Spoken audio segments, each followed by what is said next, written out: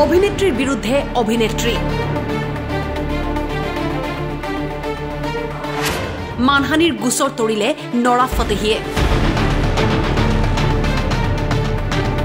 একেই ইণ্ডাষ্ট্ৰীত কাম কৰি থকা দুই অভিনেত্ৰীৰ মাজত সৃষ্টি হৈছে সংঘাতৰ।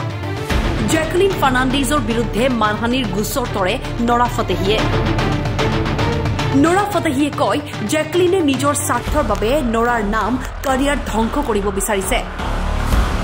প্ৰকাশিত বাতৰি মতে অভিনেত্ৰী জেকলিনে পি এম এল এ আদালতত আবেদন দাখিল কৰি দাবী কৰে যে প্ৰবঞ্চক সুকেশ চন্দ্ৰশেখৰৰ পৰা নৰা ফটেহীৰ দৰে অভিনেত্ৰীয়ে য'ত দামী দামী উপহাৰ লৈছে তেওঁৰ নাম মিছাতেই সাঙুৰ খাইছে। জনাই দিওঁ যে দুশ কোটিৰ মানি লণ্ডাৰিং কেছত নৰা ফটেহী জেকলিন ফাৰ্ণাণ্ডেজৰ নাম সাঙুৰ খাইছিল। দুই অভিনেত্ৰীক ইডিয়ে তলবো কৰিছিল।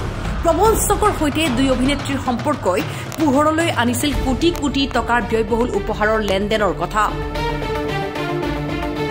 প্ৰবঞ্চক সুকেশৰ পৰা বি এম ডাব্লিউ গাড়ী উপহাৰ লোৱা লাখ লাখ টকীয়া বেগ গহনা আৰু অন্যান্য উপহাৰ লৈ বিপদত পৰিছে দুই অভিনেত্ৰী। আৰু বৰ্তমান দুই অভিনেত্ৰীৰ বাকযুদ্ধই এতিয়া তুমুল চৰ্চা লাভ কৰিছে ছচিয়েল মিডিয়াত